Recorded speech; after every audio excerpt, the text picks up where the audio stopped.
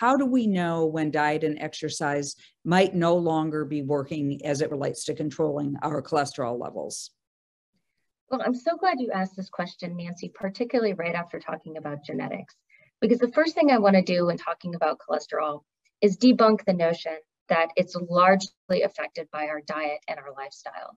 While it is true that weight loss, adhering to a healthy diet, regular exercise can lower your LDL cholesterol, the majority of our LDL cholesterol level is determined by our genes and not by what we're eating or what we're doing.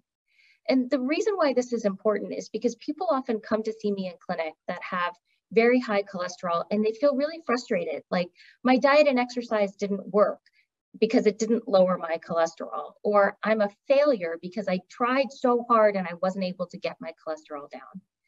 The things that what I tell those patients are twofold. First, the benefits of a healthy diet and regular exercise are independent of what happens to your cholesterol. So regardless of what happens to your LDL cholesterol, if you're eating well and you're exercising regularly, you're lowering your risk of heart disease. The second is that it's not their fault. I say you can't pick your parents.